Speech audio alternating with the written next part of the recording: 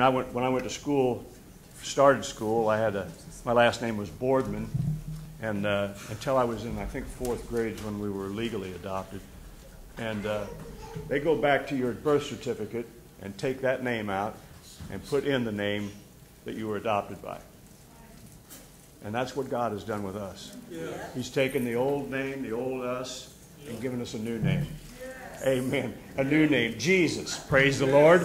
Amen. And we'll carry that name throughout eternity because of our Heavenly Father who loved us so much that while we were yet sinners, He died for us so that we could take on this new life, a life of our God and our Father, our Abba. Amen. Give the Lord a hand clap again. Thank you, Jesus. Oh, never mind. I don't, yeah, you're standing. I just thought maybe she wants to share something. Praise the Lord. Praise the Lord. Don't mind me. I'm just having a senior moment here, but it'll pass. Praise the Lord. That's the good news. It's premature senility. Premature is the key here. Praise the Lord. What do you call a fake noodle? In pasta. Did you hear about the, the news this morning? Cheese factory in France exploded, and there was nothing left but debris.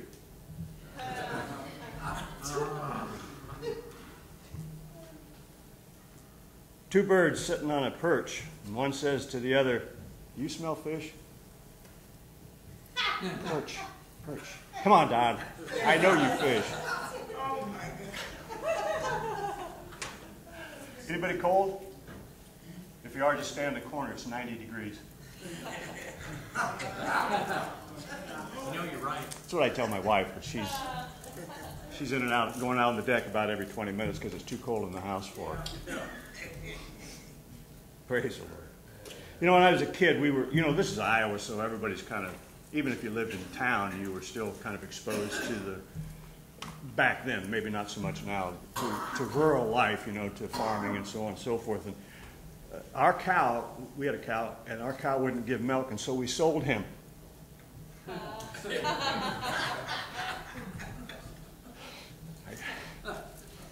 Yeah, I'm, I'm still wondering who the first person was that saw a cow and said, looked at those dangly things and said, I think I'll squeeze those until something comes out and then I'll drink it.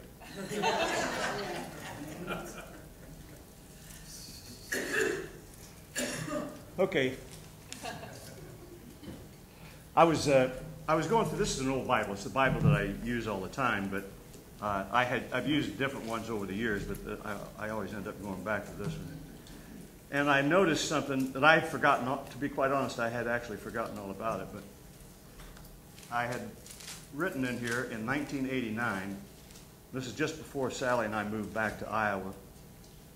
We'd been living in Texas for a number of years, and, and that's where we had a real encounter with the Lord and, and were truly born again. We may have been born again before, you know, but you know how that goes. Sometimes you can pray a prayer and something actually happens, but because you don't feel anything happen or you don't see any immediate changes, you just go on. And, but this was an experience that I knew God had done something, and so it was the opportunity that uh, God used to save us. But in the in the Bible, our pastor, uh, they were really good to us and helped us out. And we tried starting a church in Ankeny, and and they uh, they supported us for for a while, a good while, and uh, they're still they're still friends of ours. Sally contacts back and forth all the time on Facebook, but uh, this is a prophecy that my pastor, Brother Edwards, uh, prophesied over me before we left. This is 1989. And it's from Romans uh, chapter 9 and verse 28. And I had written this in here. And you know how many times you read over things and don't even look. I got so many notes and scribbles and scratches that I don't even know what half of them mean anymore. But still, at that time, this was the prophecy. For he will finish the work and cut it short in righteousness. Because a short work will the Lord make upon the earth. Now, I got to tell you, for a number of years, I thought, man, did he miss this? Because this short work has turned into about 30 years, you know, and 35 years now. And uh, But what he was talking about is when God does what it is God's going to do. Now we do we do things all the time. Everybody does. We all are, and we're trying to we're witnessing to our children and our grandchildren, and we're trying to, you know, be uh, what God's wanting us to be and to do, and so on and so forth.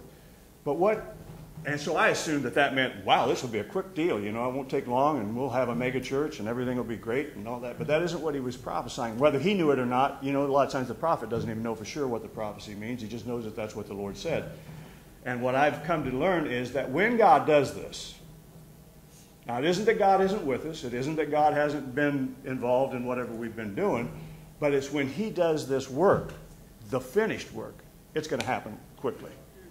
So everything that we thought, you know, we poured our life into, thinking that this was it. The truth is, yeah, it's it's it's part of what the, the thing is. But when God actually fulfills the word, it don't take long at all. It doesn't take a, a heartbeat. God can do in a breath what we've tried to do in a lifetime. It doesn't make the trying wrong. It just means that you just keep doing what you do until God does what God can do. Amen? And that's what will happen. I believe it'll happen in all of our lives, whether it's things that have been prophesied or prayed over us. They will happen, but they'll happen quickly. Amen? And the older I get, the quicker I realize it's going to have to happen, praise the Lord. I mean, or the faster it'll have to take place. So I just I wanted to bring that up to, because I know that we're all going through stuff and we all have promises. We all have had things prophesied over us. But I think this really speaks to the issue that Yes, our lives are all about this, moving in that direction, trying to get to this place that God has designed for us, like Tim was talking about earlier.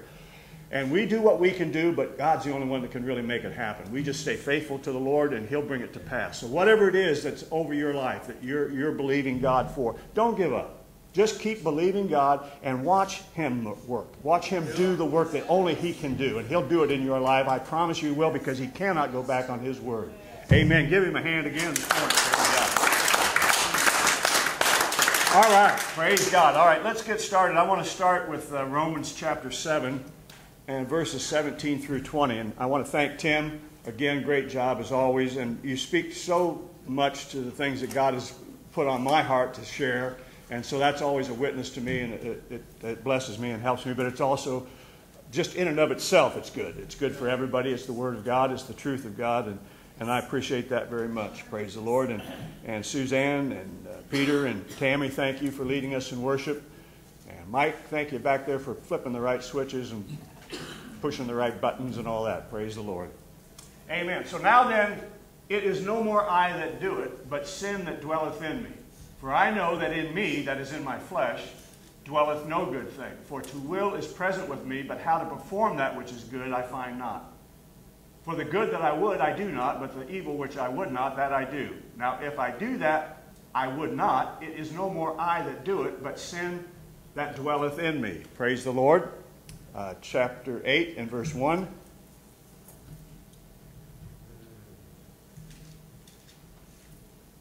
There is therefore now no condemnation to them which are in Christ Jesus, who walk not after the flesh, but after the Spirit.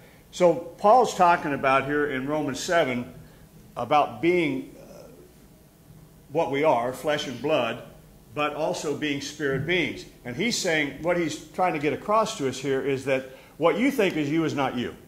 That used to be you, but now it's just a vehicle to get you around, to get you from place to place. Amen? But who you are is a spirit. And your spirit that's who God identifies with. That's what was created in his image. Amen. And so you are sinless. Amen. You're just like Jesus. But we're still capable of committing sinful acts in the flesh through, our, through the sense realm. And we, uh, the truth is, all sin is just simply coming short of the glory of God or not measuring up to what God's Word says about us, who we are, Tammy, or, or what we can do, and so on and so forth. And so Paul's trying to get us to understand what the enemy does is come and condemn us for the very thing he tempts us to do. Now, your spirit is pristine.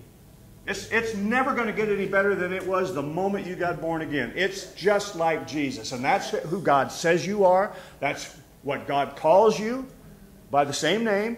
We have all taken on the name, amen. And we are the children of God. Now, we're capable of really doing stupid stuff. And if you're anything like me, You do it frequently. Amen. But the thing we have to get our head around is I am the righteousness of God in Christ. In Christ, I'm, I'm as good as it's ever going to get. So I have to I have to deal with this thing. I have to rebuke it sometimes. I have to correct it. I have to deal. But it, it, it'll kind of try to take its own path, and it does it because of the flesh. The flesh is simply the five senses. It operates sensually. It operates by what I hear, by what I see, by what I taste, smell, and so on and so forth. It wants to control me by those things. But the Word of God says that we are a spirit. Amen? And in, in that spirit, who we truly are, we are the righteousness of God. This is incredible. I mean, to just think about the fact that God says, as righteous as I am, that's what I declare you to be. Praise the Lord. Amen. So there is therefore now no condemnation to them which are in Christ Jesus, who walk not after the flesh, but after the Spirit. Now he's not here he's not talking about committing acts of sin. He's talking about being led or being affected by the flesh instead of by the Spirit. Amen. There's no condemn. I feel absolutely no condemnation. If I can focus on me being the righteousness of God in Christ, I'm not going to feel any condemnation. I'm not going to have any condemnation. But the moment I drift back to Nathan, then there's condemnation everywhere, and a lot of it's coming from me because I know it was bad. It was wrong. It was stupid. It was, you know, I wasn't patient enough. I didn't wait. I didn't think. I just reacted or responded, you know, to a situation. We can all do that, and most of the time we do, especially if we get caught in a in a tight situation or uh, where there's a lot of pressure, we, we usually respond in some uh, negative way. So that's, that's where we are first. In Christ, no condemnation. Totally accepted in the beloved. Amen? All right, then let's go to Psalms 23, and I want to read the entire 23rd Psalm. And I can tell you, I've, I've obviously done a lot of funerals over the last 35 years or whatever it's been, and Psalms 23 is one of the psalms that we always use or the, the, the family make request it, you know. But it's always bothered me. It's always made me a little uncomfortable. I've, I've memorized it, I've said it to myself many, many times, but it always makes me feel like, ooh, he's, he's trying to spook me here. He's trying to scare me about this going into this valley of the shadow of death. And I'm thinking, well, everybody's got a little hesitancy there and uh, anxiety about it because, I mean, we only do it once, so, and we haven't done it yet, and that's kind of the reason for it. So the Lord is my shepherd, I shall not want. He maketh me to lie down in green pastures. He leadeth me beside the still waters. He restoreth my soul. He leadeth me in the paths of righteousness for his name's sake. Yea, though I walk through the valley of the shadow of death, I will fear no evil, for thou art with me. Thy rod and thy staff, they comfort me. Thou preparest a table before me in the presence of mine enemies. Thou anointest my head with oil, my cup runneth over. Surely goodness and mercy shall follow me all the days of my life, and I will dwell in the house of the Lord forever. Praise the Lord. 1 Kings chapter 17, and we'll read verses 9 through 24. Praise the Lord. 1 Kings 17, 9 through 24. And you all probably know this story. We've, we've heard it plenty of times and read it. So this is uh, the prophet. He's gone through a bunch of stuff and. Uh, God was feeding him by the ravens, and he had a big issue with uh, Ahab and, and the religious uh, people of, of uh, idolaters, so forth. And so God says, Arise, get thee to Zarephath, which belongeth to Zidon, and dwell there. Behold, I have commanded a widow, a widow woman there, to sustain thee. So he rose and went to Zarephath. And when he came to the gate of the city, behold, the widow woman was there gathering of sticks. And he called to her and said, Fetch me, I pray thee, a little water in a vessel that I may drink. And as she was going to fetch it, he called to her and said, Bring me, I pray thee, a morsel of bread in thine hand. And she said, As the Lord thy God liveth, I have not a cake, but a handful of meal in a barrel, and a little oil in a cruse. And behold, I am gathering two sticks, that I may go in and dress it for me and my son, that we may eat it and die. And Elijah said unto her, Fear not. Go and do as thou hast said, but make me thereof a little cake first, and bring it unto me, and after make for thee and for thy son. For thus saith the Lord God of Israel The barrel of meal shall not waste, neither shall the cruse of oil fail, until the day that the Lord sendeth rain upon the earth. And she went and did according to the saying of Elijah, and she and her house did eat many days. And the barrel of meal wasted not, neither did the cruse of oil fail according to the word of the Lord which he spake by Elijah. And it came to pass after these things that the son of the woman, the mistress of the house, fell sick, and his sickness was so sore that there was no breath left in him. And she said unto Elijah, What have I to do with thee, O, man, o thou man of God? Art thou come unto me to call my sin to remembrance and to slay my son? And he said unto her, Give me thy son. And he took him out of her bosom and carried him up into a loft where he abode and laid him on his own bed. And he cried unto the Lord and said, O Lord my God, hast thou also brought evil upon the widow with whom I sojourned by slaying her son? And he stretched himself upon the child three times and cried unto the Lord and said, O Lord my God, I pray thee, let this child's soul come unto him again. And the Lord heard the voice of Elijah, and the soul of the child came into him again, and he revived. Elijah took the child, brought him down out of the chamber into the house, and delivered him unto his mother. And Elijah said, See, thy son liveth. And the woman said to Elijah, Now by this I know that thou art a man of God, and that the word of the Lord in thy mouth is truth. Praise the Lord. So there's several uh, concepts here that are bound up together. Over and over in the scripture, we see it all the time. It's about God's provision. His provision of food, his provision of the truth of God's word, and the gift of life. Those are three uh, consistently connected truths throughout the Bible's declaration of God's provision for his people. And so there's a literal sense that God provides daily bread for his children, and of course, we need to eat to stay alive. But then there's the other idea, this sense in which God's words of truth are sustenance in themselves. Anybody ever had a promise that you've hung on to that kept you going when nothing else would? Amen. God's promise itself is said to keep us alive. Praise the Lord. Matthew chapter 4 and verse 4. He said, Man does not live by bread alone, but by every word that proceedeth out of the mouth of God. Amen. The answer said it's written, Man does not live by bread alone, but by every word that proceedeth out of the mouth of God. So it's not just physical uh, bread that we need to live, obviously. It's God's word that sustains us and that gives us nourishment. It's His promise that gives us hope. Amen. It's His declarations that give us guidance. His blessings that give us joy. Amen. And when the children of Israel became slaves to the Egyptians, God's method for delivering them was to take a lamb, take it into your house, eat it in the night, roast it in fire, then put the blood on the doorposts of their houses. So the word that the Lord is sharing here is that if you get enough Jesus in you, amen, something will come to you. There'll, there'll be understanding, there'll be some revelation, amen, that, hey, I was born for something more than this. This is not what God had intended for me. God's got more than me being a slave or, or being, uh, you know, controlled by other situations, right? So then in Psalms 23, if you'll go back there again, Peter, we'll just cover a few things here. The Lord is my shepherd, I shall not want. He makes me to lie down in green pastures. He leadeth me beside the still waters. He restoreth my soul. He leadeth me in the paths of righteousness for his name's sake. Yea, though I walk through the valley of the shadow of death, I will fear no evil, for thou art with me. Thy rod and thy staff, they comfort me. Thou preparest a table before me in the presence of my enemies. Thou anointest my head with oil, my cup runneth over. Surely goodness and mercy will follow me all the days of my life, and I will dwell in the house of the Lord forever. So he prepares a table, amen, before me in the presence of my enemies. Praise the Lord.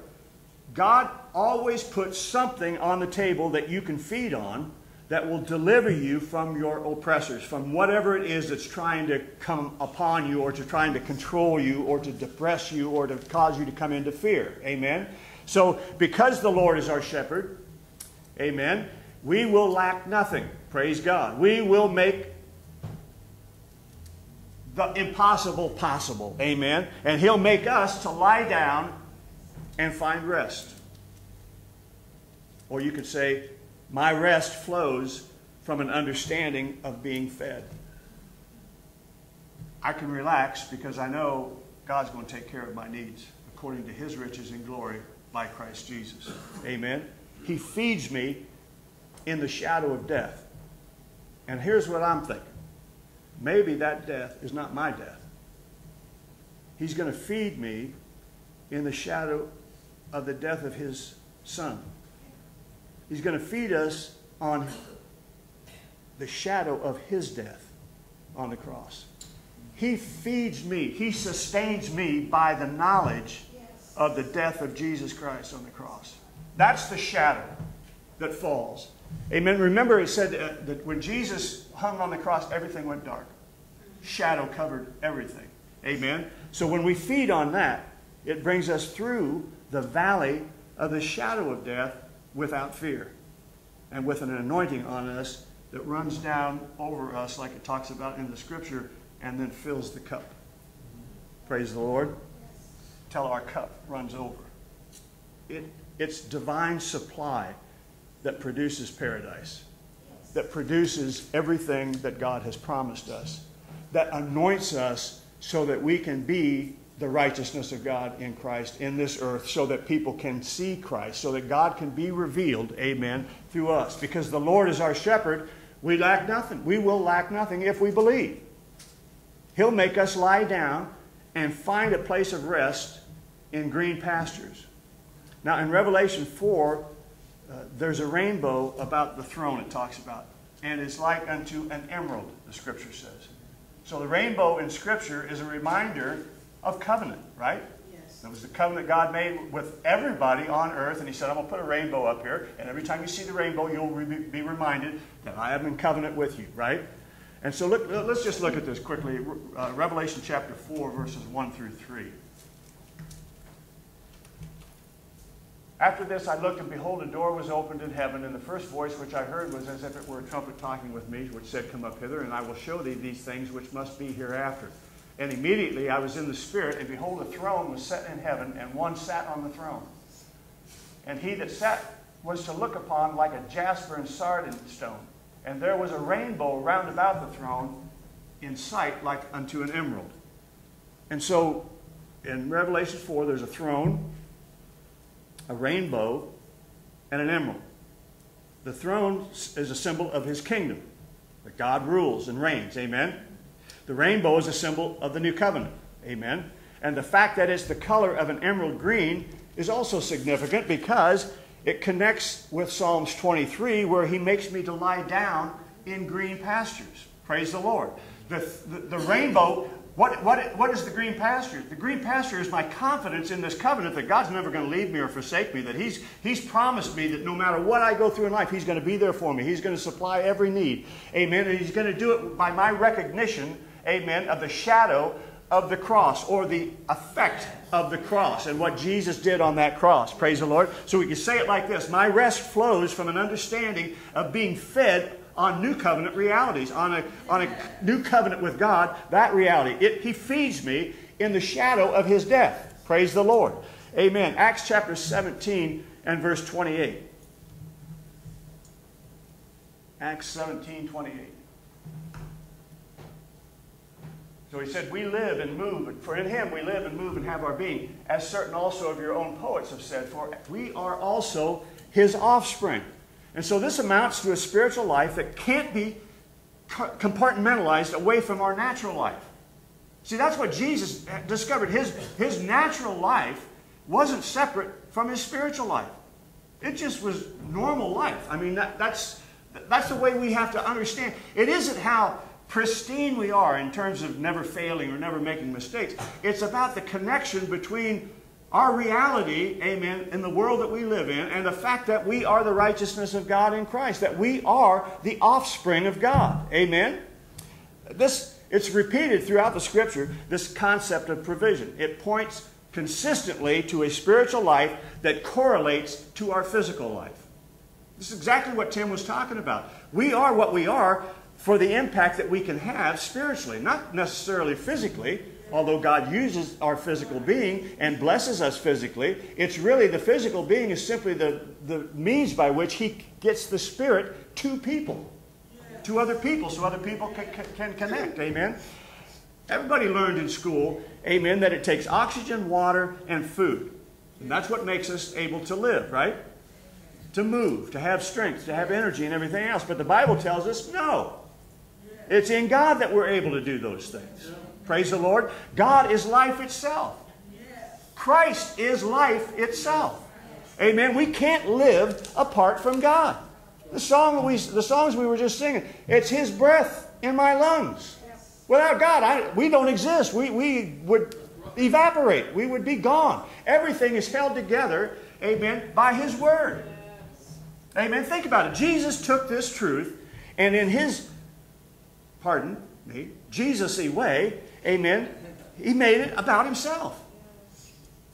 Praise the Lord. He irritated everybody, amen, as far as the Jews were concerned, amen, by talking and taking everything that God had done uh, and everything that God had said under the Old Testament, under the Old Covenant, and he said, That's about me. This is all about me. Yep. Amen. And he said he was fulfilling the law. He, he exercised authority over the temple system. We know he did. He went out and run the money changers out and, and all of that. That he said that the prophets were all talking about him. Every prophecy that ever went forward, it was always pertaining to me. Amen. And then he assumed the mantle of the high priest and the sacrifice. I mean, this guy's obsessive. I mean, that's what they had to be thinking. If they didn't recognize who he was, they'd thinking this guy's on the biggest ego trip that's ever been. I mean, he's flipped out. Amen. He was messing with their religion. Praise the Lord. The greatest need anyone has is a God given revelation of who Jesus Christ is to each one of us. Who he is to you. Amen. It needs to be unique. It needs to be real to you. It needs to be personal. Praise the Lord. We call it a personal relationship, but it's really a, a personal revelation, amen, of who God is and what God's wanting to do in your life. Amen. A revelation of Jesus to you will produce a revelation of Jesus through you. Until you get a revelation, you can't be a revelation. You can't share a revelation you don't have. Praise the Lord. So the Jews were they were angry. They were they were upset with Jesus whenever he took one of their most sacred uh, memories, amen, of God's provision and then turn it into himself. Just think of like the manna alone in the wilderness. He, he, he made it all about him. In John 6, right before Jesus uh, declares himself to be the bread of life, John tells a story of Jesus uh, feeding this huge crowd. Let's look at this in John chapter 6, uh, verse 5 through 13. And, again, you know the story, but let's just put it in the context of what we're talking about here this morning kid, they, they got these thousands of people out here that he's preaching to, and nobody's eating anything, and he's afraid they're going to be fainting and falling out before they can get back home. And so he said, Well, we need to feed them. When Jesus then lifted up his eyes and saw a great company come unto him, he saith unto Philip, Whence shall we buy bread that these may eat? And this he said to prove him, for he himself knew what he would do. Philip answered, Two hundred pennyworth of bread isn't sufficient for them, that every one of them may take a little. One of his disciples, Andrew, Simon Peter's brother, saith unto him, There is a lad here which has five barley loaves and two small fishes, but what are they among so many? And Jesus said, Make the men sit down. And there was much grass in the place, so the men sat down in a number of about 5,000. That's just the men. And Jesus took the loaves, and when he had given thanks, he distributed to the disciples, and the disciples to them that were set down, and likewise of the fishes, as much as they would. When they were filled, he said unto his disciples, Gather up the fragments that remain, that nothing be lost. Therefore they gathered them together and filled twelve baskets with the fragments of the five barley loaves which remained over and above unto them that had eaten. Verse 29 through 35. So he took what looked like not enough and turns it into more than enough. Praise the Lord. And Jesus answered and said unto them, This is the work of God, that you believe on him whom he hath sent. They say therefore unto him, What sign showest thou then, that we may see and believe thee? What dost thou work? Our fathers did eat manna in the desert, as it is written, He gave them bread from heaven to eat. And then Jesus said unto them, Verily, verily, I say unto you, Moses gave you not that bread from heaven, but my Father giveth you the true bread from heaven. For the bread of God is he which cometh down from heaven and giveth life unto the world. Then said they unto him, Lord, evermore give us this bread. And Jesus said unto them, I am the bread of life. He that cometh to me shall never hunger, and he that believeth on me shall never thirst. So, this obviously it's a picture of God's provision, like the widow's uh, limited meal and, and oil, right? So the loaves and the fishes feed 5,000 with a whole bunch left over. Jesus is abundance. That's the point he's trying to make. Amen. Typically, we think abundance as being extra money or, or more stuff. And certainly, God will meet our physical needs. But the truth is, abundance is having so much it overflows. That's the idea of the anointing that's on us that my cup runneth over. It's, it's so, Jesus connects with me in such a powerful way that there's overflow. There's always more. There's always, if I believe, if I trust, amen, there's always more than enough. It's about being more than just provided for. It's being excessively provided for. It's the, the, the doting father or grandfather that just, whatever you ask for, I'm going to give it to you. In fact, I'll give you stuff before you have a chance to think and ask for it. Just because I like to give you stuff. I enjoy the giving. And anybody that's been in the position to do that knows it's fun. It's fun to see their eyes light up, to see them get excited and be all happy over something that may not be that expensive, but it's just something they really would like to have or enjoy. Amen. And that's what the way God looks at us. He just wants to give us all good things. He wants to bless us with all good things. Amen. So John 6 verse 35 Jesus then goes on to explain this whole thing about the feeding and the, the manna and everything else. And he, and he says, I'm the bread of life, right? Well, then he goes on to say that he that comes to me shall never hunger, and he that believes on me shall never thirst. I mean, do we really ever think about some of the stuff we read? If you come to Jesus, he said, You're never going to go hungry. What David had discovered. I've never seen the righteous forsaken. I've lived a long time, he said. I've never seen the righteous forsaken. I've never seen him begging for bread. Because he that comes to me will never hunger. And he that believes on me will never thirst. We have to have him in us to live. It's not rules and regulations, it's him. Amen? John 15, uh, verses 4 and 5.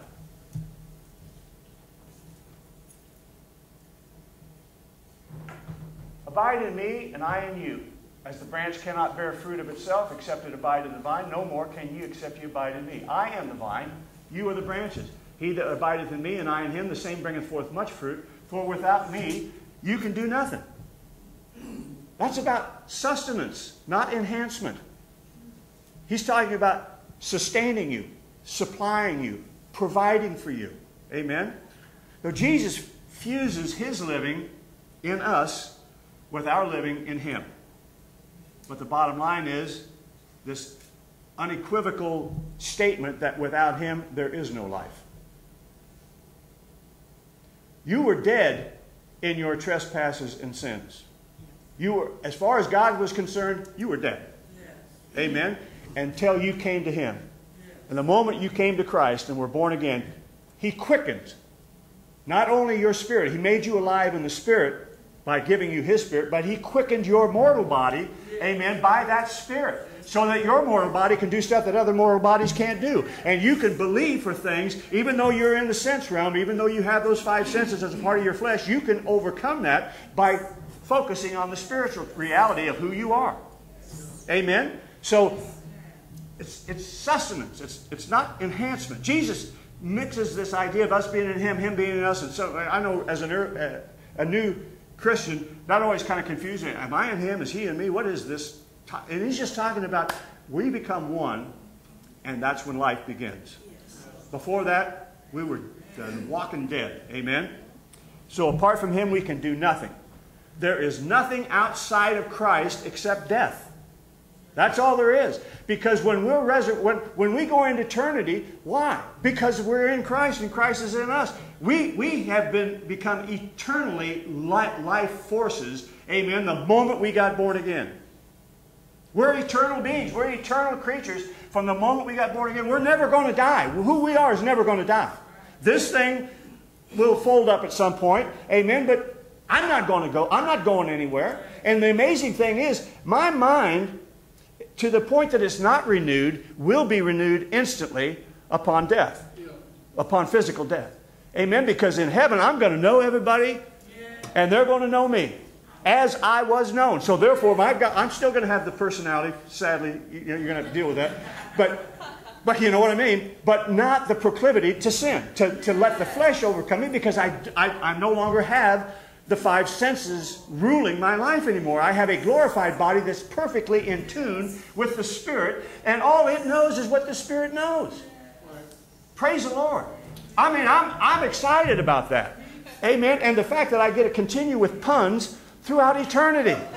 I may, I may seriously have my own mansion simply because he don't want me messing with everybody else, irritating him. Hallelujah. Praise the Lord. But God is great. Amen. Romans 5, verse 17. And see, that's why it's so critical that we get this understanding that Paul finally came to. He said, Hey, look, the harder I try, the better to be, the worse I am. We all know that. You know, we how many vows do we make a week, you know, that I'm not going to do that again. I'm not going to let her trip my trigger. I'm not going to lose my temper. I'm not going to say something that I'll regret later. You know, I love the woman, but, you know, sometimes, whew. Anybody been married more than a week? Hallelujah. You know what I'm talking about. It's not about not loving each other. It's about we get on each other's nerves sometimes. You don't sleep really good one night. Yeah, the next day you're not, you know, all that wonderful. And, and they'll say something or you say something and the next thing you know, it's, you know, you said something you have to then regret. Praise the Lord. But I'm saying that's what Paul is trying to get us to understand. We let that determine ourselves. We let that dictate who and what we are when he's trying to get us to understand yes, you're going to screw up because you're still in that flesh, you're still in that body. But don't let that dictate to you who you are and what you are. You've got to be able to forgive and forget just as you hope that they'll do the same thing for you. But the first thing you've got to do is forgive yourself.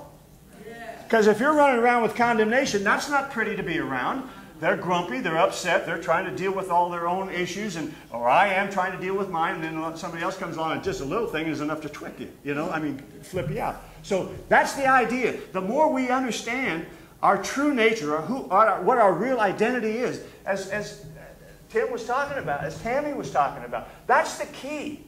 That's the key to opening all the doors in the Spirit so that we can operate as we really are and who we really are. For if by one man's offense death reigned by one, much more they which receive abundance of grace and of the gift of righteousness shall reign in life by one Jesus Christ. We are all, until we were born again, we were all reigning in the death of Adam, his separation from God.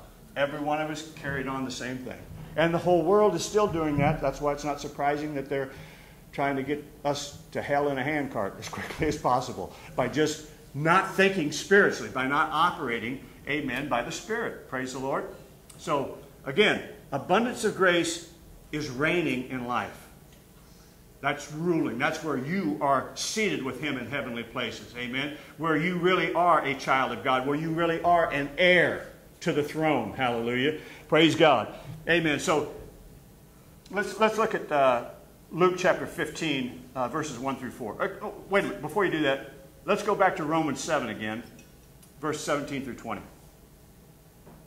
We reign in life by the abundance of grace, by God's forgiveness and His impartation of His righteousness to us, we reign. We rule. We are seated with Him in heavenly places. As He is, so are we in this earth, right? So that's the point Paul's trying to make here. Now then, so that it can't be me anymore that's sinning. Not if I know who I am, right? It can't be me. It's no more I that do it, but it's the sin that dwells in this flesh, in the members, in the, in the body. Praise the Lord. Because I know that is in this flesh, and we all know this if we're honest with ourselves, there's nothing good about it. It always wants what it wants and more. Amen. At, at any cost, praise the Lord, dwell, dwelleth no good. For to will is present in me. So I want to do, I don't want to get upset with my wife. I don't make it sound like we're on the verge of a divorce. We got over that about 30 years ago or so. Uh, but I'm just saying, it, it's, it's not, it's in me, in my flesh, is the will to be right, to be in charge, to set everybody else straight, because they're all messed up. Right? I mean, because I know. Amen. Yeah, in my flesh. There's no good thing. For to will is present, I want to do, but when I get in pressure, when I get aggravated, this thing shows up. And it wants me to be convinced that this is me. That's you. You'll never change. You know, you're always going to be a foul up. You'll always screw something up about the time God's ready to move, and then you'll mess it all up. For to will is present. But how to perform it, I can't find it. I think I found it until the next time I get aggravated or get into a bind or in some situation that I just react to rather than, you know, slowing down and thinking a little bit and responding by the Spirit. Amen. For the good that I would, I do not. But the evil which I don't want to do, I end up doing. And anybody else ever get so frustrated with this that you think, what in the world is the point? The harder I want to do the good stuff, the more it seems like all the crap comes, and I respond to it the same way it came to me, you know, instead of operating by the Spirit, right? So now, if I do that, if I'm doing what I don't want to do, then it's not me that's doing it, right? This isn't paranoid schizophrenic talking here. This is he's identified the fact that, okay, now I've discovered who I really am. And that's the righteousness of God in Christ. So if I'm still doing this, it can't be me that's doing it because Jesus never sinned. Right? If I am the righteousness of God, in other words, if I've taken on Christ, then this, if I understand this, it can't be me that's sinned. That's what Paul, that was the revelation that Paul had and that he's trying to share with us. So if I do what I don't want to do, then it's not me that's doing it. But it's the sin that's in my members. Praise the Lord. All right. 17 uh, through 20. All right. And then 8, verse 1, he says, There is therefore now no condemnation if you stay focused on the Spirit. The flesh is going to do stuff. We're not encouraging that. We're not trying to get it. I just know it's going to happen. I don't, you know, it just will. As long as we're in the flesh, there's the potential for failure, you know, for coming short, right? But that's why he's telling us you cannot focus on that. Because if you do, it'll rob you of your identity, and you'll be under condemnation all the time instead of being free to do what God wants you to do and feeling competent amen, and able to do everything that God says, you'll be so focused on your failure that it'll take you six months to get. You know, that's what we used to do in the holiness, is we would, you know, that's what was so amazing about this prophecy from my pastor. I love the man. But look, that isn't where they were coming from. And anybody that was in that organization or religious kind of belief knows that isn't what he was talking about. He was talking about God's going to do this, and God is going to do it, but he's going to do it. He's going to use me to do it. The righteous he's talking about is me. Right? The righteous, when I come to that understanding, then God that gives God the flow or the free hand to move and to do what only he can do in me. I can't do it because the harder I try to do it, the more frustrated I'll get because of the flesh, because of the senses, because of what I'm seeing as a result or what I'm hearing about as a result, right? Praise the Lord. So, there is therefore now no condemnation to those who are in Christ Jesus. Amen. Who walk not after the flesh, but after the Spirit. In other words, who are being led by what God says about them rather than what I'm saying about myself or the situation or the enemy. Praise the Lord. All right, Luke chapter 15, verse 1 through 4.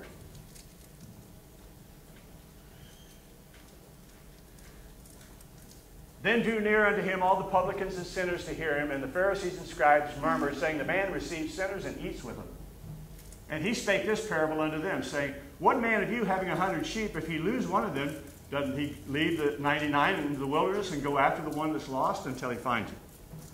So Jesus was about rescuing the lost. His response to their saying he's eating with sinners all the time is that my focus here is the lost, is the sinners is the ones who don't know me, who have no uh, religious training, who have no understanding of this. Amen. He was providing himself as the sustenance for eternal life. Praise the Lord. He sat down and he had dinner with the lost. I, am telling you, there was a time when, uh, and again, if you were kind of brought up or, or, or in, the, in a more religious uh, kind of church environment, you know that you weren't to, you weren't to uh, mix with sinners. You were to be separate. Come out from among them, you know. How are you going to affect them if you're you just got your own little group somewhere huddled down in your, you know, doctrines and everybody else can just go to hell, you know. I'll tell you, because we got that, most of you probably heard this, but I, I don't care. It's worth telling. Uh, when we got, of course, you, you know, you got rid of the TV. You weren't supposed to have a TV. You were, there was all kinds of rules. That was just one of them. Now, in some ways, I can see the advantages of not having TV because there's a lot of crap on there you don't need. But it's not all bad. It's just got to have sense enough to know which ones to watch and which ones not. A little self discipline will cure a lot of that problem. But nevertheless, we had to get rid of our TV. So, and I had all kinds of rock and roll and, you know, blues and the old LPs, you know, the old 33 and a thirds albums and stuff. I mean, they'd be worth a fortune today. But they were going to take me straight to hell mm-hmm. because they told me they would. Amen. So what did I do? I gave my TV and my records to my neighbor. Hell, he was going to hell anyway. What difference did it make? He might as well enjoy himself, right? I mean, that's I, that's that's where our heads were. Well, they don't care. They're going to hell. So you know, give them that junk and let them go to hell with it. I'll just hunker down with my group and right. Yeah, we'll just go out to eat. That's all there was to do. I mean, go to church and eat. Not that that's bad, but you know, a little music once in a while wouldn't have been terrible either. But but this is, this is the idea of this great uh, repetitive picture of kingdom reconciliation.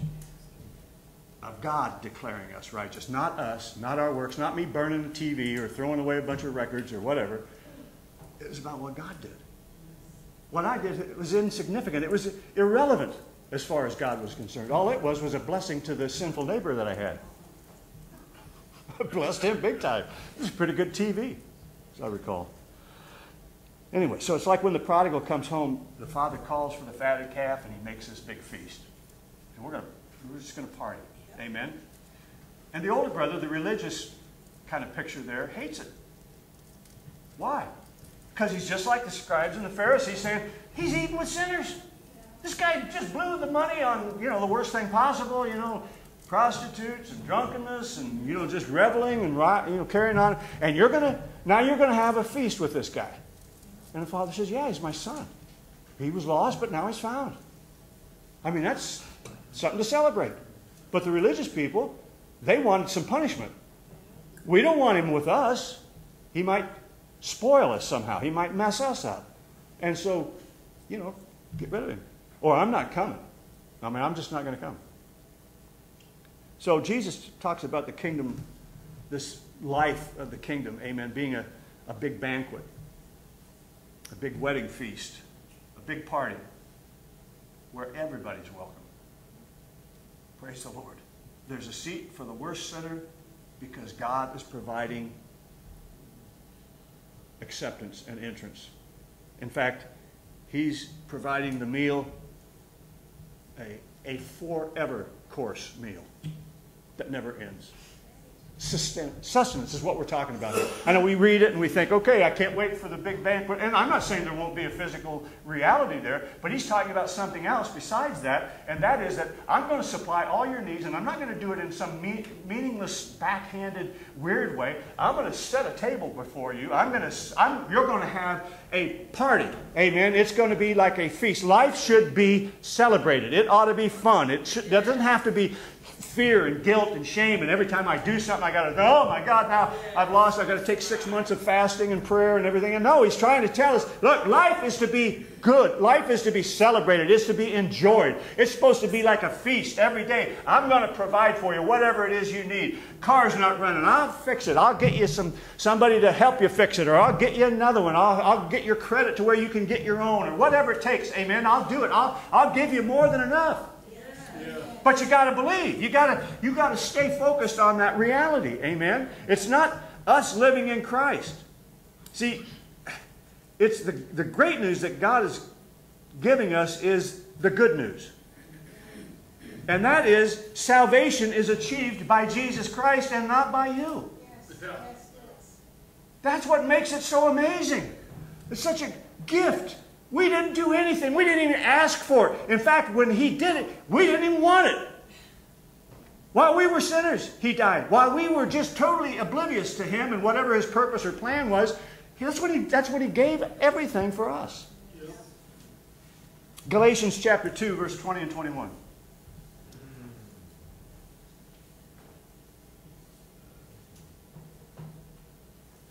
Praise the Lord. I'm crucified with Christ. Nevertheless, I live. Yet not I, but Christ liveth in me. Now, again, we're talking about the Spirit.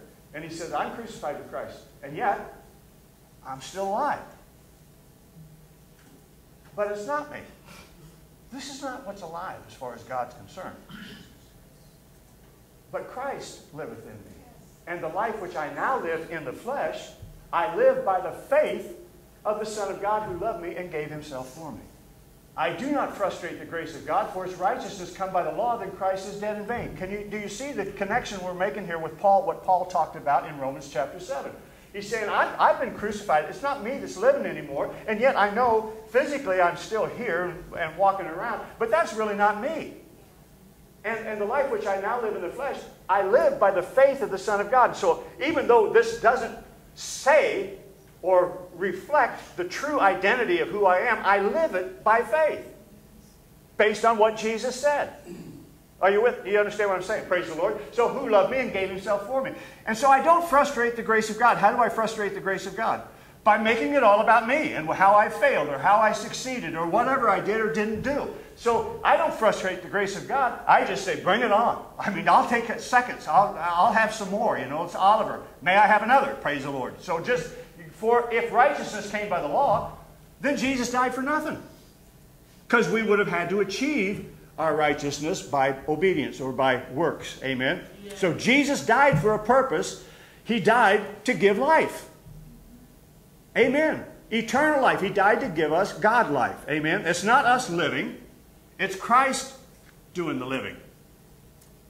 And the life that we live in our flesh and blood is made abundant by the flesh and blood that Jesus provided for us in his death, burial, and resurrection. That abundance is also called the grace of God. It takes it out of your hands. It takes it from you being responsible to Him being responsible and you simply believing in that. See, we're just, look, look at this way. We're just like the blood and the wine when you think of communion, which is to connect us to that reality and who we really are in Christ, right? And so it, we're, we're like the blood and the wine just ordinary earthly things, natural things, amen, declared sacred because of what they signify in relation to God's grace. We are sacraments, to be quite honest with you. Just like the elements of communion, we ourselves are vehicles of grace. We are made sacraments. We are human sacraments. And I, I looked the word up, sacrament, and it means oath of allegiance or means of grace, sacred character. That defines us. We have this treasure in earthen vessels. We have this sacrament, this sacramental reality in flesh, just like Jesus did. Except Jesus' flesh never ruled him or controlled him. And the way we are to overcome is by the word of our testimony and the blood of the Lamb. Not by our effort, but by what he already did and our connection with it, our identification with it. Amen? So again, let's look at 1 Corinthians 10, and we'll read verses 14 through 21. 1 Corinthians 10, 14 through 21, Peter.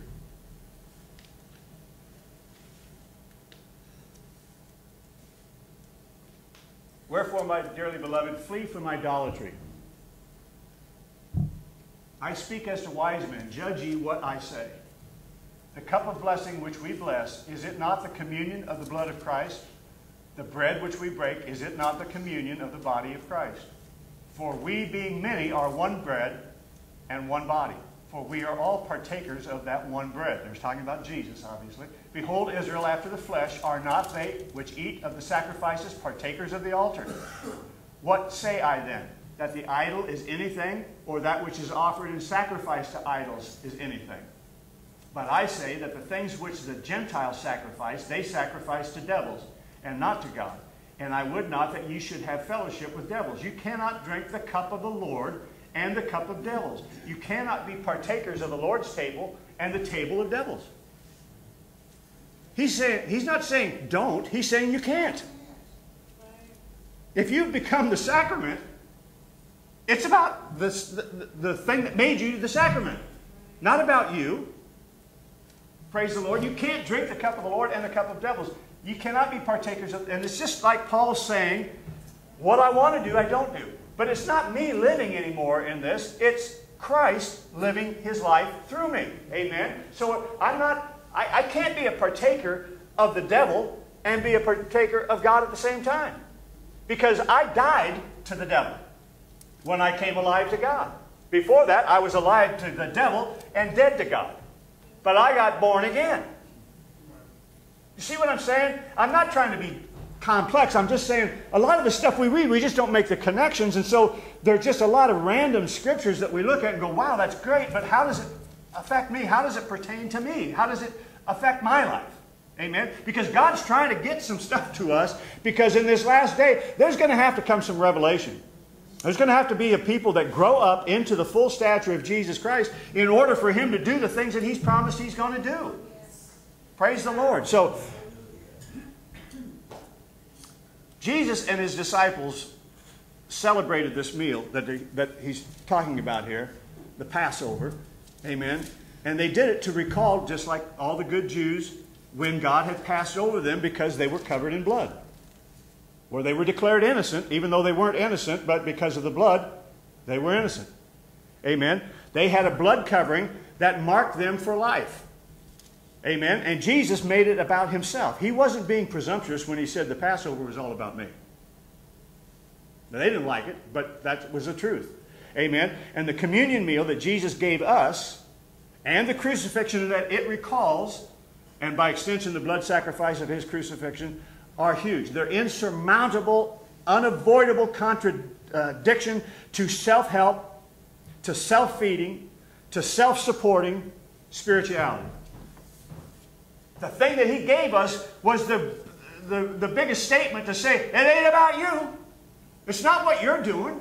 It's what I've done. And when you partake of this meal, you're symbolizing what happened when you got born again. You you fed on me. You took me in. I became your sustenance. I became your righteousness. I became all that you needed to be in order for God to accept you and to love you as He loves Him. Amen?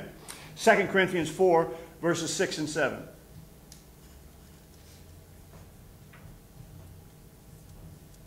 For God, who commanded the light to shine out of darkness, has shined in our hearts to give the light of the knowledge of the glory of God in the face of Jesus Christ. But we have this treasure in earthen vessels that the excellency of the power may be of God and not of us.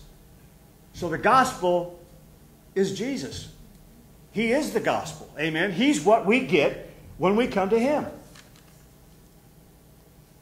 Praise the Lord. Our reward and the giver of the reward are one and the same. The good news is Jesus Christ is not just God with us. But as Tim was saying earlier, it's God for us. Your shield and exceeding great reward. He's got your back. He's got your front. He's got the sides. He's got it all. Amen. Amen. The all sufficient provision. Psalms 23, one more time, Peter.